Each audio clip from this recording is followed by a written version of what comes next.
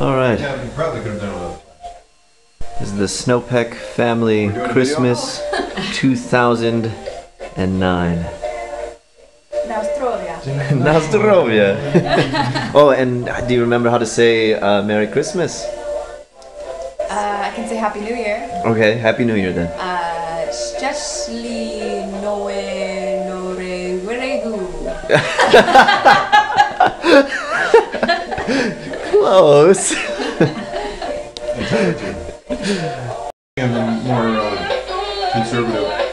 Than that? No, being more conservative. You think of them being more conservative than that? Yeah. That's really conservative, actually.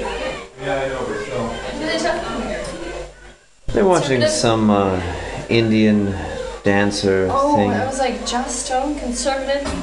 But I, right I didn't now- think I had the videos going, but Right now, I'm covering the Snopek family pizza story. The Snopek family Christmas pizza story. Mm-hmm. sauteing. Mm-hmm. Those will be the toppings. And here is Master Chef Carrie making the crust. I'm a professional. Take notes.